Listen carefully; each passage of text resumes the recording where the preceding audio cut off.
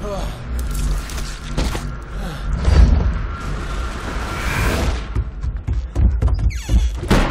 up!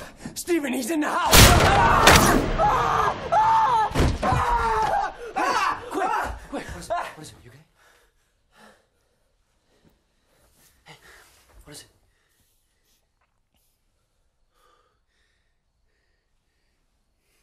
Just a dream. That is uh, just a dream. Oh, it's nothing. Just go back to bed. No. You practically know my whole life story.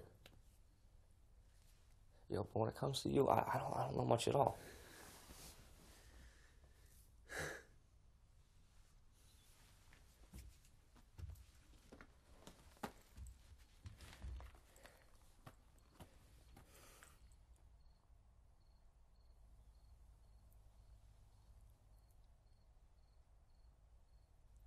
My parents were killed when I was six years old, Stephen. They were murdered. Right in front of my eyes.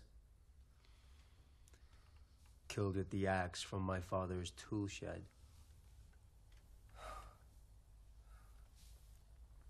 Never caught the man that did it.